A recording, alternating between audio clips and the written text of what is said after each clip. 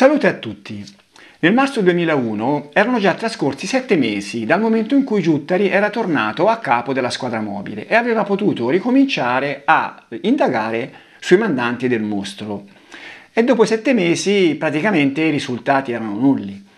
Cioè non c'era nessun, nessun elemento, nessun personaggio specifico sul quale appuntare diciamo, le attenzioni e eh, a fronte di tutti gli sforzi che erano stati fatti da Giuttari stesso e anche dalla procura che lo aveva appoggiato per consentirgli di rimanere eh, a capo della squadra mobile e continuare queste indagini e insomma la situazione era un po' eh, antipatica, si può immaginare che eh, sia, sia Giuttari che la procura fossero, fossero un po' nervosi, no? C'era bisogno di almeno di qualcosa per, per anche da dare in pasto, credo, ai, ai giornalisti che eh, erano a corto di notizie da tanto tempo. E eh, si scelse di eh, indagare su un argomento eh, vecchio di tre anni che era, stato, era rimasto lì, che era la morte di Pacciani. Questo argomento è già stato affrontato in video da Francesco Cappelletti Credo che il video sia del primo dicembre del, del 2000, del, del, dell'anno scorso, mi sembra. E naturalmente con il suo modo professionale. Ora io eh, affronterò lo stesso argomento sia perché eh, già avevo scritto uh, diversi anni fa un, nel mio blog un, un articolo eh, che, che, lo riguardava, eh, poi anche per completezza di, di narrazione e, e, poi magari anche per offrire magari qualche spunto secondo un'ottica un pochino differente, cioè i miei video eh, sono un pochino meno professionali, quelli di Francesco sono diciamo così un po' più naif, magari mh, mm, può darsi che eh, riesca a offrire qualche spunto differente. Comunque torniamo a, a, a Pacciani. Allora Pacciani eh, quando era stato assolto e era uscito di carcere nel febbraio del 96 aveva trovato la sua casa di eh, via Sonnino a Mercatale vuota perché Angiolina era stata portata in una struttura protetta. Non si sa bene, lì ci sono state anche delle polemiche, non si sa bene quanto per sua volontà, però insomma la donna sappiamo che non aveva proprio tutti i suoi giorni. E Pacciani si era trovato appunto in questa situazione da solo e si era lasciato andare, cioè eh, era una situazione la sua di abbattimento totale, sia fisico che morale.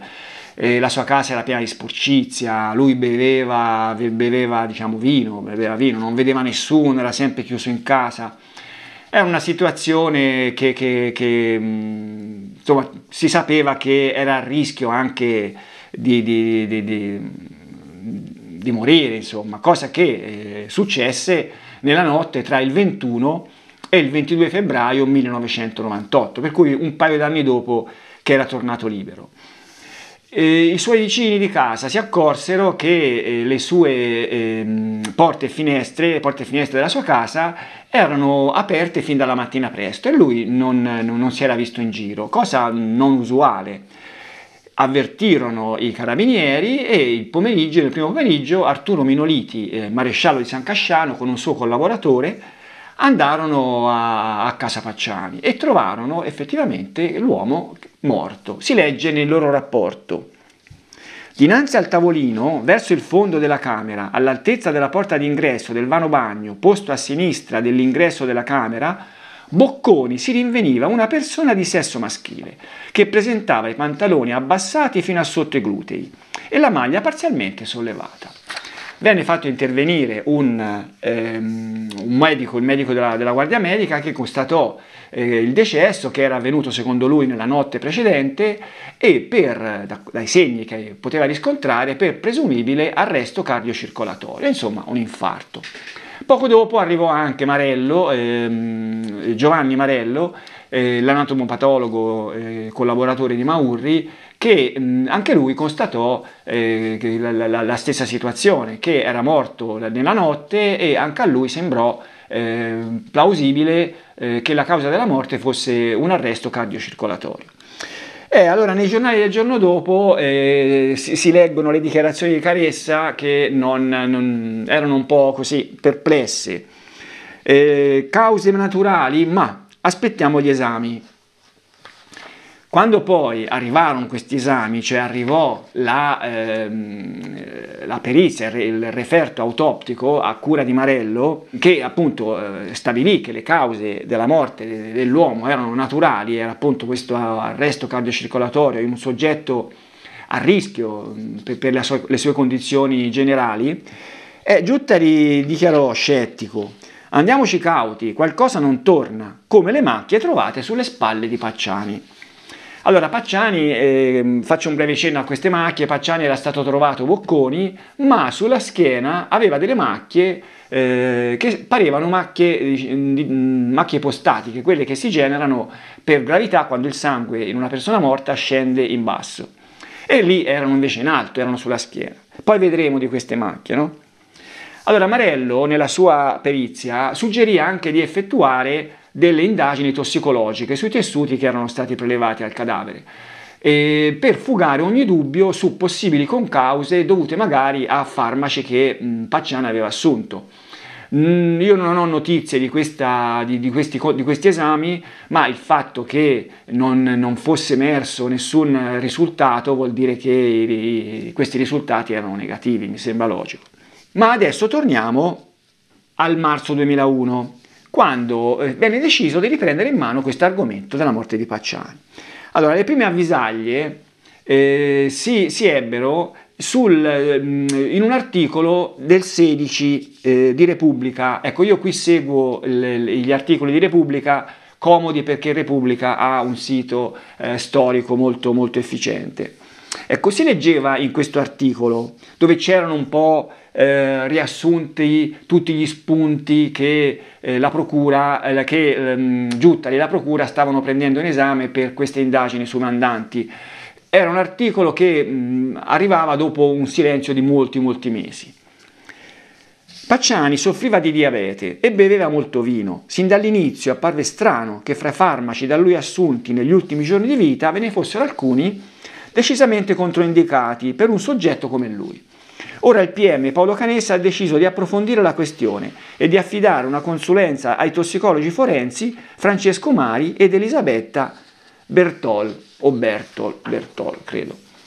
Il 21, una, in un altro articolo, un altro cenno. A proposito di Pacciani, anche sulla sua morte lavorano Procura e Squadra Mobile, guidati dal sospetto che qualcuno possa aver provocato l'ictus che lo uccise nel febbraio 1998. Il 29 finalmente viene pubblicata una notizia in grande, ricca di particolari. Pietro Pacciani potrebbe essere stato ucciso. La Procura di Firenze ha aperto oggi un fascicolo contro ignoti per la morte dell'agricoltore accusato degli omicidi del mostro di Firenze. Testimonianza chiave sarebbe quella di Carmelo Lavorino, uno degli investigatori del pool difensivo di Pacciani, convinto, oggi come due anni fa, che l'uomo fosse stato portato verso la morte giorno dopo giorno, goccia dopo goccia. Lavorino è stato ascoltato oggi dal capo della squadra mobile di Firenze, Michele Giuttari, come persona informata sui fatti e ha aggiunto nella sua testimonianza che potrebbe essere stata una sostanza, forse un farmaco, assunta nel tempo da Pacciani a provocarne la morte, ad avallarne l'ipotesi il fatto che il cadavere, trovato nella casa di Mercatale il 22 febbraio 98, sul pavimento in posizione prona, avesse le macchie ipostatiche sulla schiena e non solo sull'addome. E ritornano queste macchie. Allora, Carmelo Lavorino, chi era Carmelo Lavorino? È, è, era, è perché vive e vegeto, è un, un, investigatore privato, criminologo, che all'epoca si era interessato, è maestro di karate, cerchiamo di non dimenticarlo mai, che all'epoca si era eh, interessato del, della difesa di Pacciani, aveva fatto parte del suo pool difensivo al momento del processo d'appello. In questo pool difensivo c'era anche Marazzita, l'avvocato Nino Marazzita eh, de, de, di Roma, e al momento del decesso di Pacciani entrambi espressero sui giornali i loro dubbi. Eh, io adesso dico un po' una cattiveria, ma una cattiveria bonaria, ma insomma la morte di Pacciani ci fu chi la vide in un modo che la vide in un altro, ci fu chi la vide come una liberazione, perché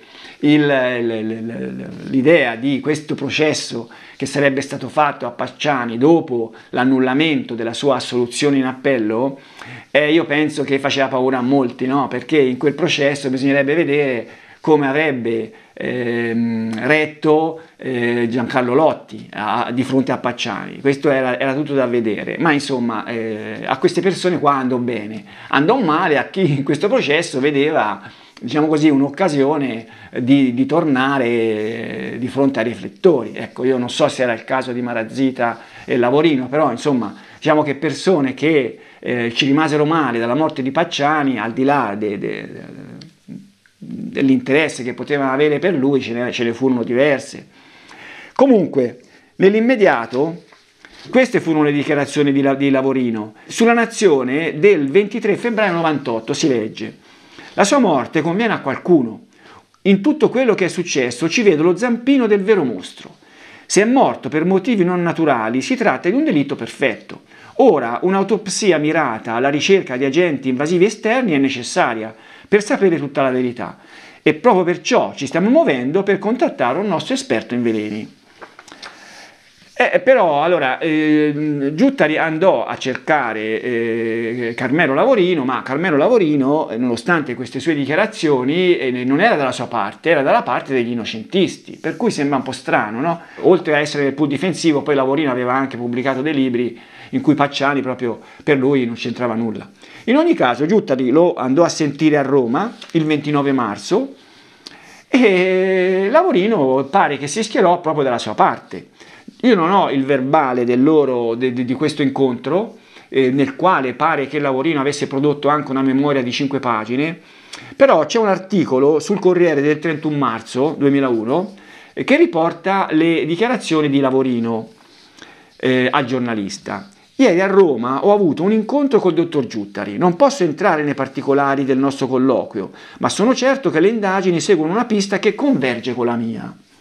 A mio avviso si è arrivati alla fase finale del secondo livello.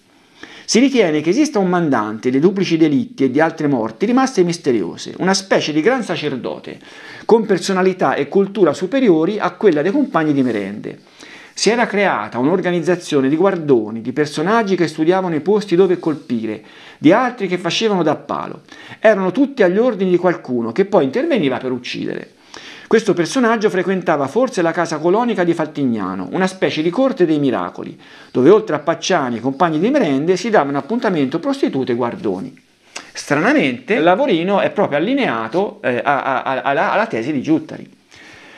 Va bene, comunque, lasciamo perdere eh, Carmelo Lavorino e eh, andiamo a quelli che, eh, furono, che erano i dubbi di Giuttari che lui eh, dovette esprimere naturalmente eh, alla Procura nella sua richiesta di poter mh, indagare su questa, su questa morte.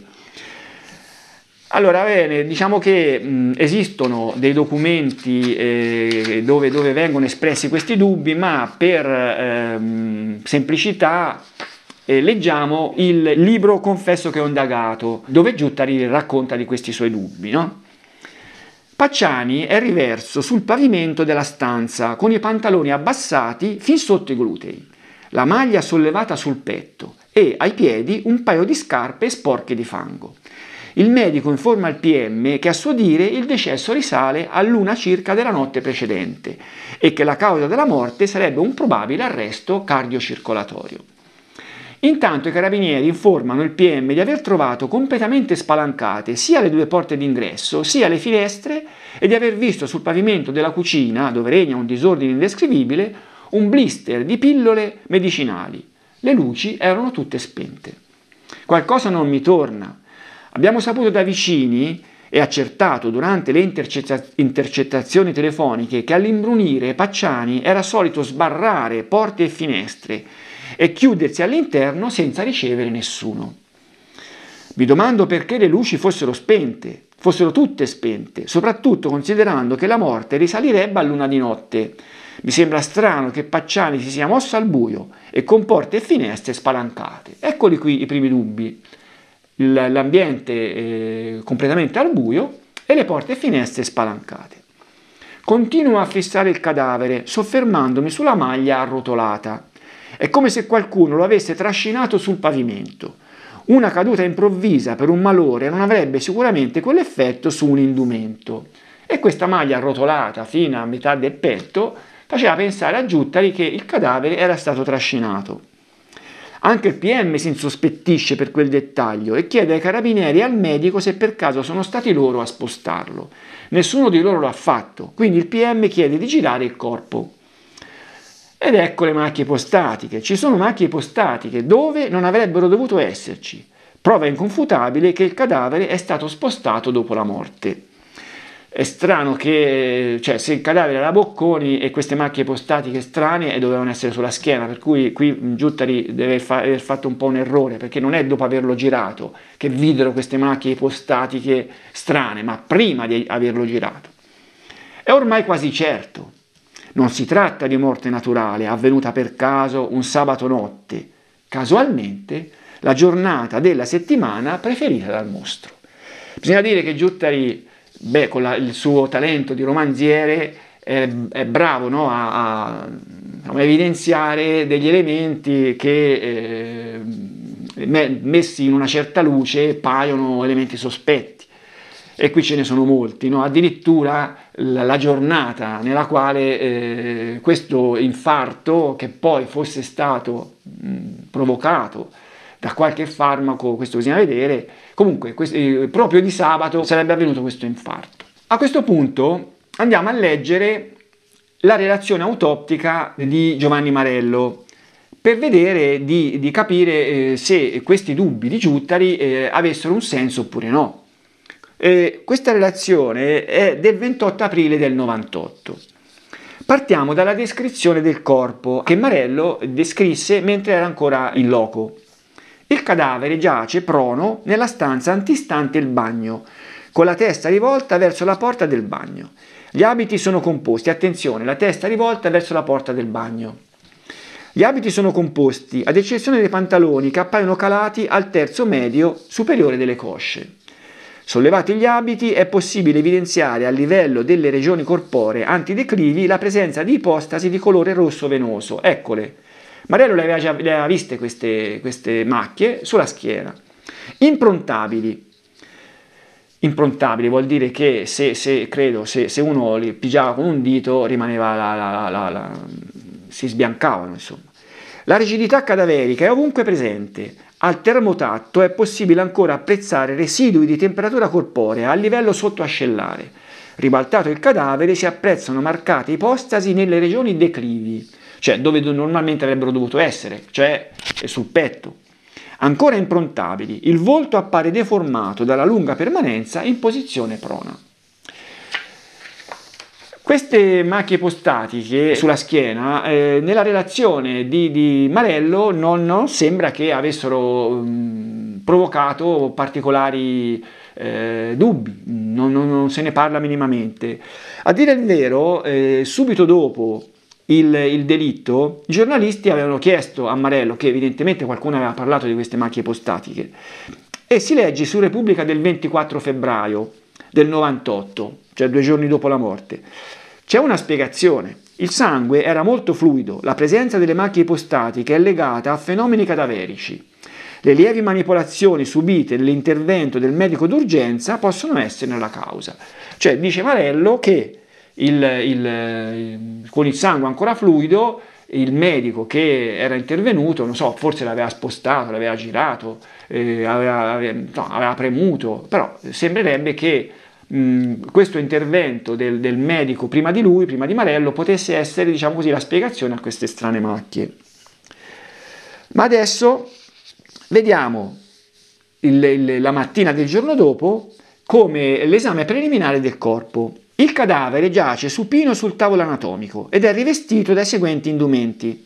Maglioncino azzurro con imbrattamento a livello della faccia ventrale di entrambi gli avambracci Camicia scozzese con imbrattamenti fecali nel bordo posteriore. Probabilmente anche il, il, l'imbrattamento del maglioncino era un imbrattamento fecale. Camiciola di lana, pantaloni grigi imbrattati di feci, compatta sbottonata e cintura di cuoio agganciata al quarto foro. Presenza di due boxer legati fra loro mediante una stringa con imbrattamenti fecali. A sinistra calza di colore azzurro, a destra calza di colore verde marcio. Presenza di scarpe di cuoio slacciate. Il cadavere presenta imbrattamenti fecali a livello del volto e delle mani, che appaiono con le dita piegate conseguentemente l'imbrattamento non è presente a livello del palmo. Altro imbrattamento si rileva al fianco destro. E allora, ci sono tutti gli indizi per ritenere che Pacciani fosse stato colto da malore mentre cercava di andare in bagno. Allora, abbiamo visto che la, la testa era rivolta verso la porta del bagno, i pantaloni erano mezzi calati, c'erano tracce, diciamo così, di feci da tutte le parti. E, eh, per cui mm, mi sembra che fosse stata proprio questa la, la, situazione. Pacciani che cercava di andare in bagno quando, poco prima di arrivarci, venne colto da malore cadde eh, a faccia in avanti sul pavimento. Ma vediamo la situazione di salute di Pacciani eh, prima della morte. L'esame autoptico evidenziava una grave corona sclerosi con esiti multipli di pregressi infarti miocardici in soggetto con verosimile episodio di arroico. Nel caso in esame ci troviamo di fronte a una patologia gastrointestinale costituita da diarrea profusa che può avere contribuito a determinare una marcata ipotensione con conseguente deficit cinetico del ventricolo sinistro. Quello che capisco io è che eh, la situazione di Pacciani era già drammatica per la sua situazione del cuore, eh, eccetera, eccetera, no? però questa eh, diarrea che lui aveva avuto aveva, diciamo così, aggravato la situazione. Infatti, il deficit cinetico del ventricolo sinistro può provocare una improvvisa congestione ipertensiva nel piccolo circolo, con dispnea parossistica o edema polmonare acuto, spesso mortale e in genere più frequente nel periodo iniziale. Cioè questa diarrea aver, poteva aver provocato praticamente l'infarto, ma anche la mancanza di, di, di fiato, edema polmonare. L'abbassamento della pressione arteriosa può essere tale da configurare un proprio collasso cardiaco. Inoltre, in caso di diarrea profusa si determinano delle alterazioni elettrolitiche, riduzione del potassio, che sono spesso causa di aritmie che in corso di infarto rappresentano l'episodio mortale. Cioè, in sostanza, questa diarrea, probabilmente, io non so a cosa era dovuta questa diarrea, non mi ricordo se nella, c'è qualche accenno, non mi pare, in questa perizia autoptica. È possibile che questa diarrea fosse una diarrea di origine virale, chi lo sa, magari un'influenza, e che questa diarrea avesse eh, creato delle, dei problemi in una persona che era proprio al limite, diciamo così, de, del passaggio da una parte all'altra. Allora, le, eh, queste diciamo le conclusioni della morte eh, che appunto ci sono in questa perizia, eh, nella quale l'orario viene anticipato rispetto a quello diffuso nell'immediato, eh, Marello lo collocava alle 22.30. La morte è dovuta ad insufficienza cardiaca con edema polmonare in recente infarto del miocardio in soggetto con cardiomegalia, cardiomegalia vuol dire mh, mm, eh, cuore enormemente ingrossato, per ipertrofia ventricolare sinistra e sfiancamento globale del cuore. Cioè sfiancamento globale vuol dire che il muscolo praticamente non rispondeva più agli stimoli, insomma non si contraeva e, e si distendeva nel modo dovuto. Affetto da arteriosclerosi, polidistrettuale a particolare incidenza a livello coronarico e cerebrale, ove è presente un'atrofia corticale con dilatazione ventricolare ed edema, insomma aveva anche le arterie chiuse dal, dal colesterolo. Il Pacciani presentava esiti di pregressi infarti ed erano presenti segni di anasarca e di notevole stasi con epatomegalia con aspetto a noce moscata, oltre a gastrite emorragica diffusa, cistite, attenzione cistite, e ipertrofia prostatica. Vabbè, ipertrofia prostatica è una cosa che a quell'età tutti gli uomini, quasi tutti gli uomini ce l'hanno. Allora, a questo punto riprendiamo le, le, le, perplessità di Giuttari che abbiamo letto nel suo libro, ma che erano già presenti nelle note dell'epoca le, le note dell'epoca che eh, sono, sono, sono, sostanzialmente due, anche se poi anche, anche dopo lui eh, riprese questi argomenti della morte di Pacciani. Comunque, nel sito Il mostro di Firenze, un caso ancora aperto, è stata pubblicata la trascrizione di una nota del 2 dicembre 2001, per cui nell'immediato di questa riapertura delle indagini. Ecco, questa nota non è una fotocopia del documento, ma è una trascrizione e abbiamo visto che su questo sito mh, ci sono stati dei, dei, dei, così, eh, delle informazioni, sono avute delle informazioni non proprio corrette, però diciamo che mh, fino a prova contraria la dobbiamo ritenere valida. C'è poi la nota mh, che ho nominato più volte di qualche mese dopo, del 3 dicembre 2001, riassuntiva diciamo, della situazione delle indagini su mandanti prima di entrare nell'era Narducci, in cui c'è anche un capitolo sulla, sulla morte di Pacciani e lì ci sono appunto questi dubbi. Ma allora, vediamoli un po' questi dubbi, no?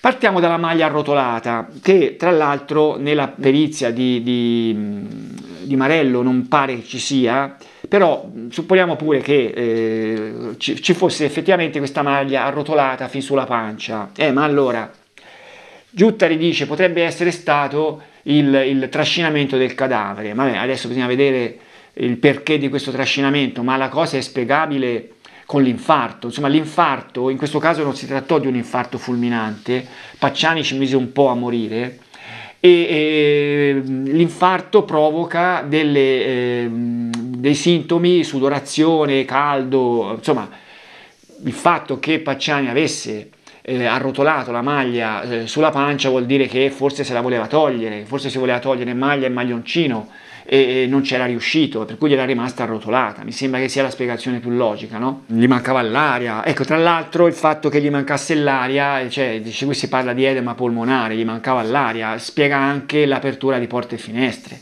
Cioè Pacciani non, non respirava e andò ad aprire eh, qualche porta e qualche finestra per, per far entrare l'aria, mi sembra logico. Tra l'altro si legge nella, nel, nel, rapporto dei carabinieri che il cancelletto d'ingresso, cancelletto d'ingresso che eh, portava a un corridoio oltre il quale c'era la porta d'ingresso della casa, porta d'ingresso vera e propria. Questo cancelletto era chiuso a chiave. Per cui, insomma, non è che eh, le porte e le finestre aperte indicavano chissà quale presenza, è una presenza che eh, se avesse lasciato aperte quelle, magari perché fuggì pre- precipitosamente, poteva aver lasciato aperto anche il cancelletto. Le luci spente, un altro elemento che Giuttari, a Giuttari sembra strano, ma insomma, le luci spente eh, eh, si possono spiegare in diversi modi, per esempio con il fatto che eh, Pacciani eh, poteva non eh, aver voglia di farsi eh, vedere da, da, da, da, chi stava fuori, cioè Pacciani sapeva di essere sotto gli occhi di tutti, no? che tutti guardavano la sua casa per quello che si chiudeva dentro a, a riccio in un bunker per cui eh, eh, aprì porte e finestre, sì, ma eh, magari aiutato un po' da, da, anche dalla luce esterna, non so, ci saranno stati dei lampioni forse fuori, delle luci esterne, non lo so, eh, si poteva muovere lo stesso anche a luci spente, poi conosceva la sua casa. Potrebbe essere questa la spiegazione, no? Eh, e poi c'erano i pantaloni calati, pantaloni calati anche lì, allora la maglia era arrotolata fin su, pantaloni calati sotto i glutei, le due cose sono abbastanza incompatibili con un trascinamento perché se trascini qualcuno eh, da una parte o dall'altra eh, gli calano o, pant- o, gli calano i pantaloni o gli si arrotola la maglia, tutti e due insieme non, possono, non può succedere, no? Ma questi pantaloni arrotolati, questi pantaloni sotto i glutei cosa indicavano? Insieme a tutte le altre condizioni indicavano che lui eh, voleva andare in bagno, insomma, che eh, andando in bagno aveva cominciato a tirarsi giù i pantaloni perché sentiva di non reggere i, i suoi bisogni, insomma, no, mi sembra logico. Allora, questi diciamo che sono i dubbi che eh, abbiamo visto nel trafiletto tratto da Confesso che ho indagato, ma nella, eh, nella nota eh, che dicevo, quella eh, pubblicata da, da, dal sito Mostro di Firenze, un caso ancora aperto, del 2 aprile 2001, si leggono altre cose, altri dubbi. Uno è quello di uno straccio, si legge di uno straccio che eh, eh fu trovato all'altezza del pube imbevuto di varichina, varichina e non venne trovata nessuna bottiglia di varichina. E allora, nel ehm, video di, di, di Cappelletti, eh, sì, sì, sì, Cappelletti dice che eh, e io poi ho anche verificato tra l'altro che eh, negli episodi, cioè quando diciamo, una persona ha la cistite, come nel caso di Pacciani, come viene, viene indicato nella perizia di Marello, eh, l'urina eh, ha, ha, ha, assume un odore caratteristico di ammoniaca, perché viene prodotta l'ammoniaca, un odore che è tipico eh, che è simile a quello della varichina, che la varichina mi sembra che non contiene ammoniaca, contiene ipoclorito di sodio, ma diciamo, l'odore pungente è quello. Per cui diciamo, questo spiega. Poi quello straccio no, che giustamente Cappelletti paragona a, a, quello che poi sarà successivamente, perché qui siamo ancora prima, sarà successivamente lo straccio trovato sul corpo di Narducci, quello straccio che evocava chissà quali, quali riti eh, esoterici, chi lo sa. In quella nota Troviamo poi un'altra, sempre in quella nota del 2 aprile 2001, troviamo un altro, un altro argomento, altri dubbi di, di, di, di, Giuttari. Ecco, un argomento che riguarda un personaggio che si chiamava Celso Barbari, che credo che sia ancora vivo, eh, si chiamava all'epoca, insomma si chiamerà ancora oggi. Si legge su questa, su questa nota, sul quotidiano La Nazione di ieri, 1 aprile, pagina eccetera eccetera della cronaca di Firenze, è stato pubblicato un servizio dal titolo Pacciani, l'autopsia parla, nel corpo del quale si fa cenno a dichiarazioni riferibili, secondo l'articolista, a tale Celso Barbari. In particolare si dice una testimonianza potrebbe rivelarsi interessante, seppure tutta da verificare. Celso Barbari, meglio conosciuto come il pittore dell'Appennino, ha raccontato che parlò al telefono con Pacciani poche ore prima che morisse. Lo voleva salutare, ricorda, era più di un mese che non lo sentiva.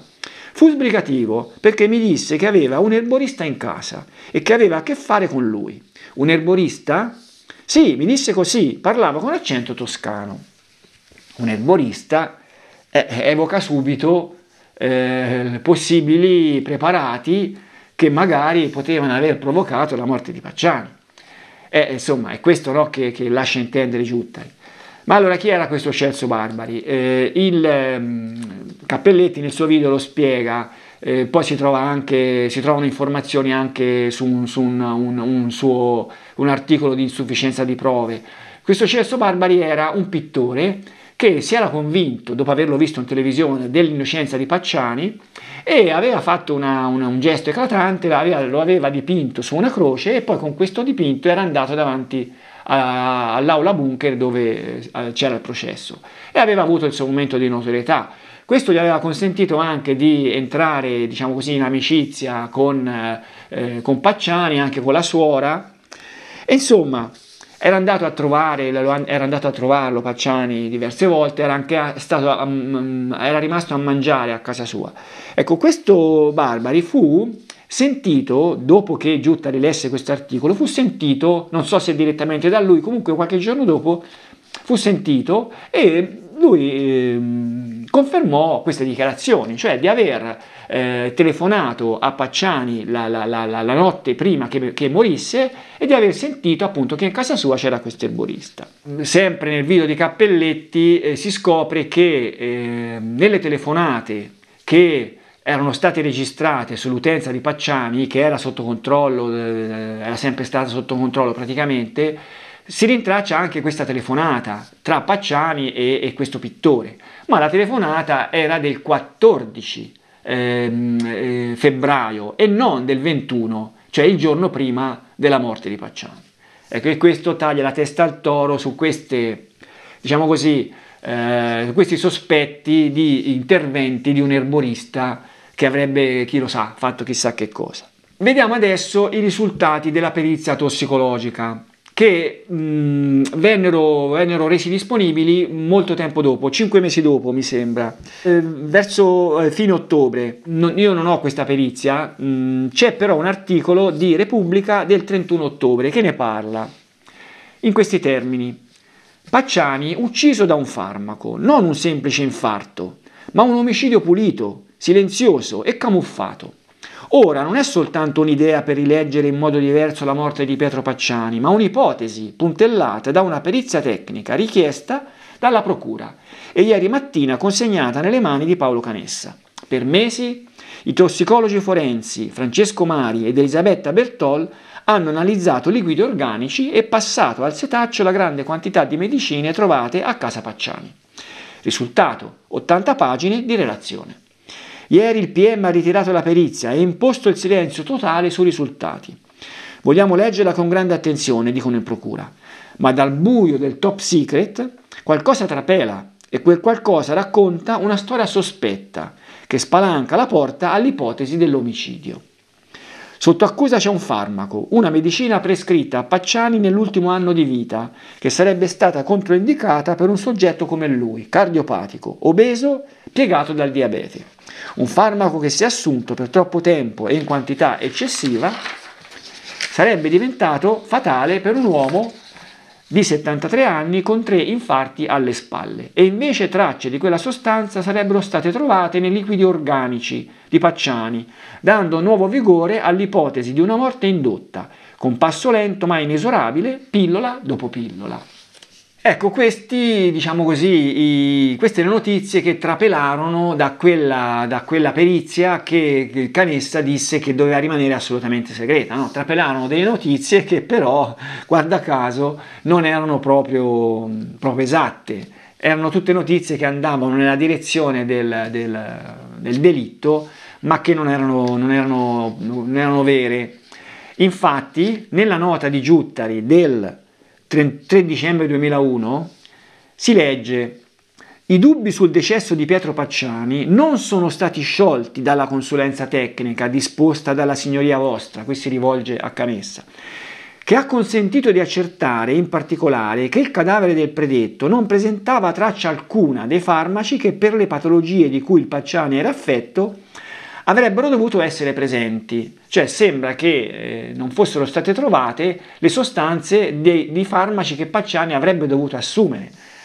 Vabbè, eh, so, forse Pacciani non, non li assumeva, mm, questo non vuol dire che eh, non mi sembra che siano questi degli elementi che possono far pensare a un omicidio. Mentre si poteva accertare la presenza nei succhi gastrici di tracce di un farmaco antiasmatico, Eolus, contenente nella sua composizione principi attivi controindicati per le malattie cardiache del Pacciani. E continua, Tali risultanze, se da un lato non sono riuscite a chiarire le reali cause della morte, dall'altro non possono che far aumentare le perplessità su una morte naturale dell'imputato, soprattutto in considerazione delle condizioni oggettive in cui a suo tempo il corpo era stato trovato. Come dire, la perizia tossicologica non ha fornito nessun aggancio per eh, presumere un omicidio, però rimangono tutti dubbi eh, che eh, esistevano come quello delle finestre aperte, quelle che abbiamo detto. No? Ma allora, vediamo un po' di approfondire questo discorso dell'Eulus. Allora, l'Eulus cos'è, cos'è l'Eulus? Cos'era? Non so se ancora, eh, se ancora esiste. Era un farmaco per, antiasmatico, cioè di quelli che eh, si spruzza in gola, una, una, bomboletta si spruzza in gola e quando appunto la, chi soffre d'asma fa fatica a respirare provoca l'apertura degli alveoli polmonari e eh, così eh, dà modo all'ossigeno di entrare. E allora è vero sì che l'Eulus nel suo bugiardino riporta che è un farmaco controindicato per, per chi soffre di eh, problemi cardiovascolari, no? perché provoca una vasodilatazione, insomma, cioè, però non è che eh, se un, uno che eh, è a rischio infarto si, si, si assume l'Eolus all'istante muore, no? eh, cioè, c'è diciamo, un rischio aumentato, non, non, pare che si possa pensare che, che, che l'Eolus potesse aver provocato l'infarto di Pacciani. Ma perché l'Eolus era, era, questo Eolus era in casa di Pacciani? Perché gli era stato prescritto dalla sua dottoressa di base, con una ricetta del 19 aprile 1997. Eh, Anna Maria Gambassini. Ecco, allora già questa, questa signora, questa dottoressa, era stata sentita il 25 febbraio 1998 e aveva, aveva penso avesse chiarito il, il, la situazione, ma fu richiamata il 31 ottobre del 2001 dopo la consegna di questa, di questa perizia tossicologica. Si legge nel verbale mi viene mostrata la fotocopia di una ricetta con la prescrizione del farmaco Eolus con due confezioni. La ricetta è a firma mia, la riconosco e quindi sicuramente sono stata io a prescrivere questo medicinale spray che all'epoca prescrivevo spesso ai miei pazienti con problemi di respirazione.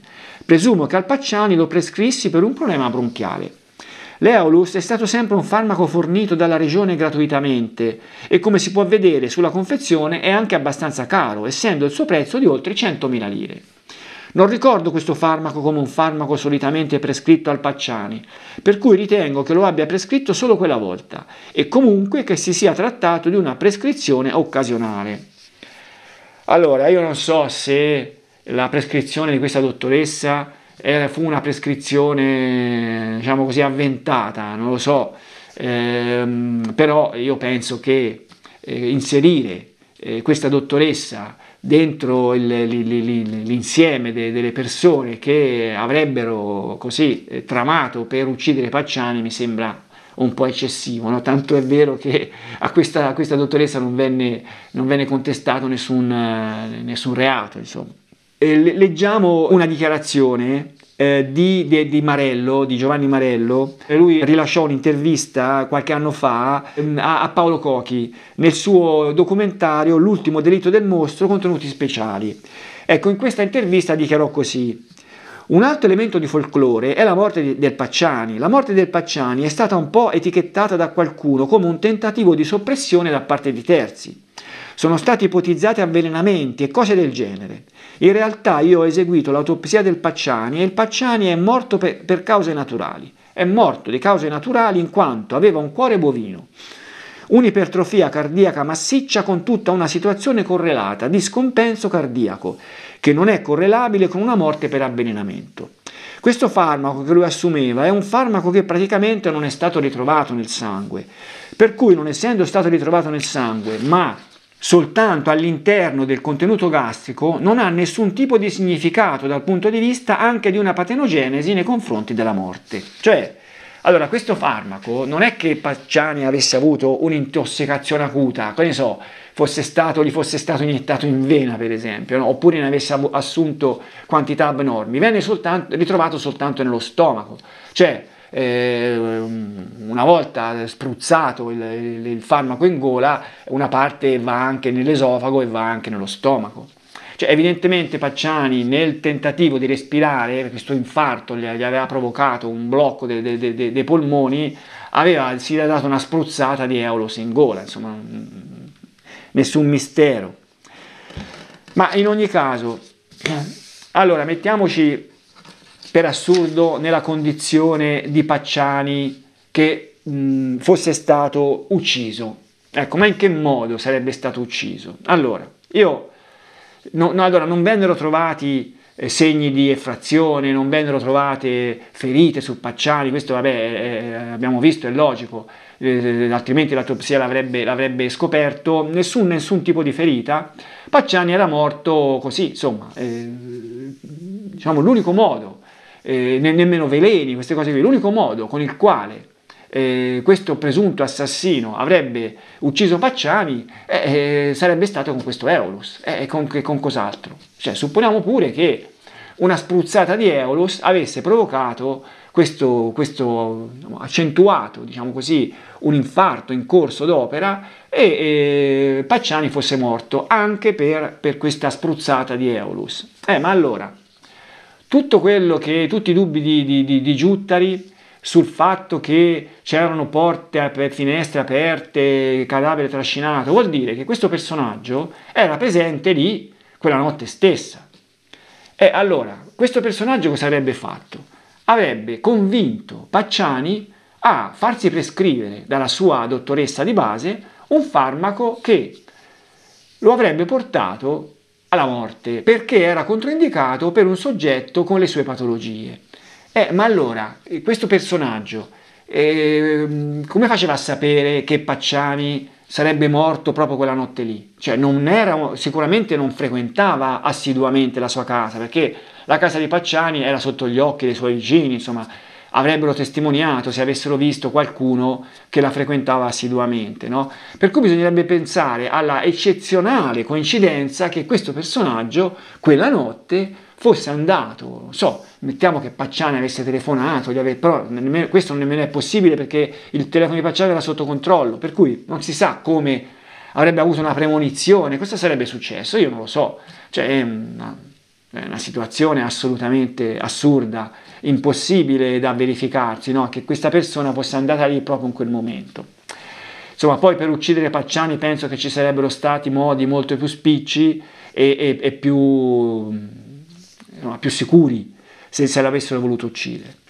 Vabbè, io direi che eh, la, sulla morte di Pacciani, sulla presunta uccisione di Pacciani, possiamo metterci una pietra sopra. Insomma, eh, quando oggi si sente ancora dire qualcuno che Pacciani è stato ucciso, sta dicendo delle scemenze. Cioè, questo diciamo pure che chiunque le dica da, da, da, da, chi è in alto a chi è in basso, fino all'ultimo de, de, de, degli appassionati della vicenda che non sa niente, e sono scemenze, bisogna dirlo. No? La morte di Pacciani fu una morte assolutamente naturale, non c'era nessun, nessun mandante dietro che lo voleva uccidere abbandoniamo questo argomento e eh, accenniamo a quello che sarà invece un argomento dei, dei, dei prossimi video. E, ehm, e probabilmente eh, fu proprio la morte di Pacciani che mh, indusse eh, un personaggio che abbiamo già incontrato, Gabriella Pasquali Carlizzi, a farsi di nuovo viva. E si fece viva con un fax, prima con un fax del 30 marzo, con il quale inviò a Giuttari un, un, un resoconto, un, un, suo, un suo scritto che già gli aveva mandato nel 98 il 9 marzo del 98. In questo, in questo suo scritto si raccontava di un colloquio che aveva avuto con un personaggio, una, una, una, specie di agente segreto, diciamo così, che aveva scritto un libro, un libro che oggi è, è noto tra tutti gli appassionati, eh, Coniglio il martedì, Aurelio Mattei. Aveva avuto questo colloquio nel 98, aveva già rendicontato Giuttari su questo colloquio, reiterò questo, questo, suo, questo suo scritto. Il giorno dopo, il 31, mandò un altro fax. Illustrissimo capo della squadra mobile, dottor Michele Giutta di Firenze. La sottoscritta Gabriella Pasquali Carlizzi chiede alla signoria vostra di essere ascoltata come persona informata sui fatti nell'ambito delle indagini relative alle cause della morte di Pacciani Pietro. Ecco, non, non sappiamo eh, cosa si dissero Giuttari e la Carlizzi, però Giuttari fax, questi due fax dovette eh, ritenerli abbastanza interessanti, da, tanto da inserire, inserire questa, queste due notizie nella sua nota del 1 aprile 2001. Ecco, allora io ho detto che non, non, non, non sappiamo bene quello che eh, si dissero i due, ne parleremo poi nei prossimi video. Mm, la donna non sapeva niente della morte di Pacciani, non sapeva niente della morte di Pacciani, questo è sicuro, però sapeva tante altre cose che mm, sarebbero stati spunti interessanti per Giuttari e lo vedremo prossimamente. Saluti.